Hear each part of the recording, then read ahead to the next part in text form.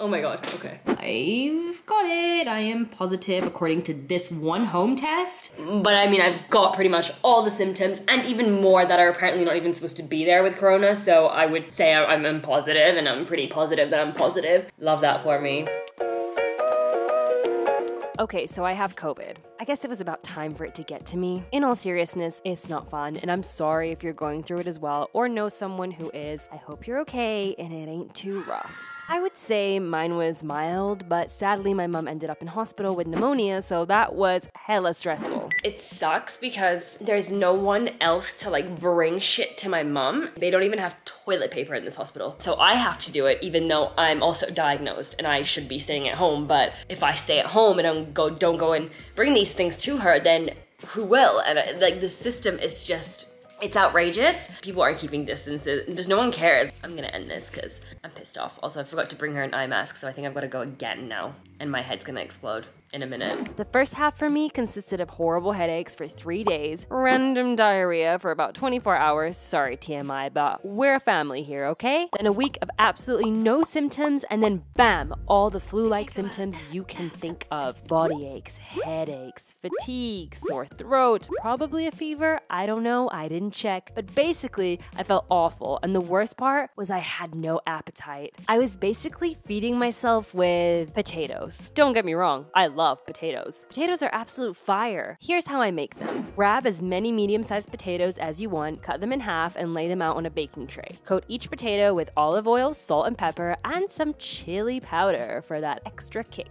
This bit kind of changes the game, trust me. Pop them into the oven and they're ready in about half an hour, depending on the size of the potatoes. On the side, I just cut up some tomatoes, some cucumber and lettuce, added some oil and vinegar, and there you go. I also love having some of this vegan cheese cheese on the side from a brand called Delish. It's made from cashews and honestly tastes heavenly with potatoes. Another dish I had a lot of was pea soup. I know, it sounds so boring, and it kinda is, but it's also extremely easy to make, super affordable, full of proteins, and gets you nice and full. All you have to do is put a bag of frozen peas into a saucepan, then add a can of chopped tomatoes into the peas, and you can use the same can to add five cans of water into the mix to make it more, you know, soup-like. Then just let it simmer for around 40 minutes until the peas are cooked through and enjoy. I also have a severe obsession with bread. I don't know about you, but I'm so glad bread is vegan because I honestly don't know what I'd do without it. I made some homemade hummus to go with it, which tasted heavenly. If you want to see how I make my hummus, let me know in the comments. But then things got mm, progressively worse. I lost my sense of taste and smell, and it felt like it was game over from now on.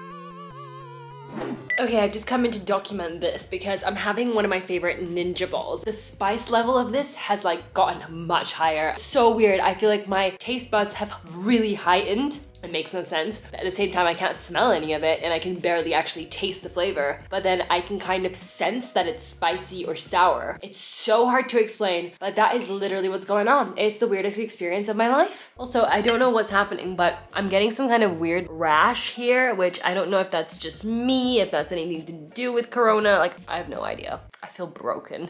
He's living his absolute best life though. Aren't you, buddy? Aren't you? An even bigger problem was that I was so hungry all of a sudden. I wanted to eat absolutely everything, but it all tasted like actual cardboard. Not that I've tasted cardboard before, but this is how I imagine it would taste. It's an extremely miserable experience, and some people were telling me they've been like this for months. If you've been here long enough, you'll know that I hate mushrooms more than anything. But I was even able to eat an entire mushroom based patty without tasting a single bit of it. The texture still horrified me though. So yesterday, I ate this sauce. It's like a chili sauce, and I could actually smell it a little bit, like a little smidgeroon, and today it's gone completely. Then the odd cravings came. I started craving everything and anything. I even started craving meat and cheese at one point, and I haven't had either of those in about five years. What was happening? To me. I soothed my cravings with getting myself a Beyond Meat burger and some fries, but yeah, you guessed it, I couldn't taste a single thing. It was a sad experience, especially for the price I paid, but hey, that was me being stupid, knowing I wouldn't be able to taste it and ordering it anyway. Everything I ate was bland, just tasteless and sad. Even though my memory knew what the majority of the food should taste like, my taste buds were completely dead and I could neither smell nor taste a single flavor. I swear I could bite into a raw onion and not taste a single damn thing. Six days later, my senses started to slowly reappear. As messed up as this is about to sound, I have never been more happy to smell my own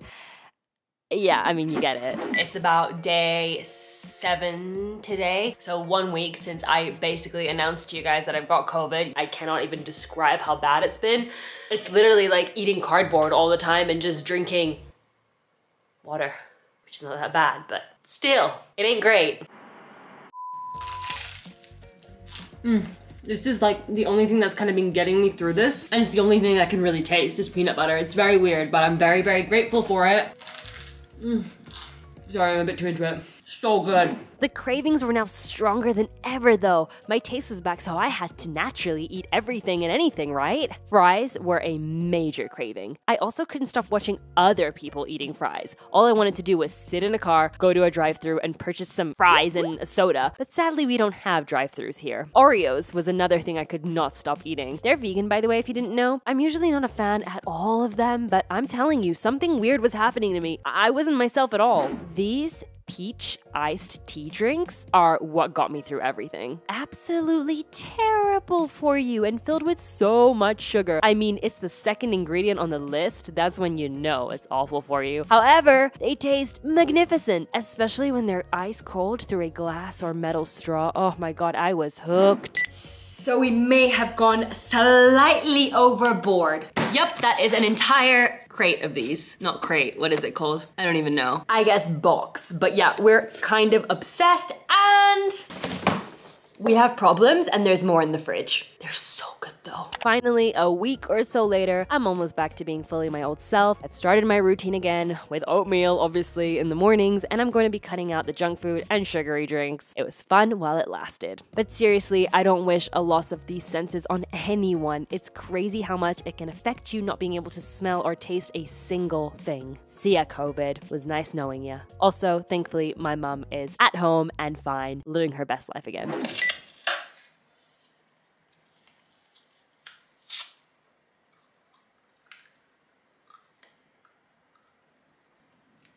That's pretty much it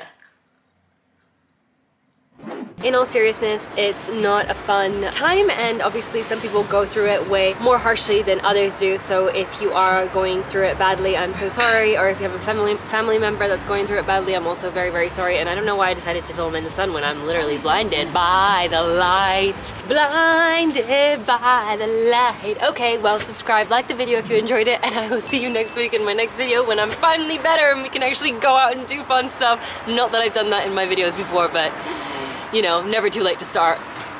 Bye.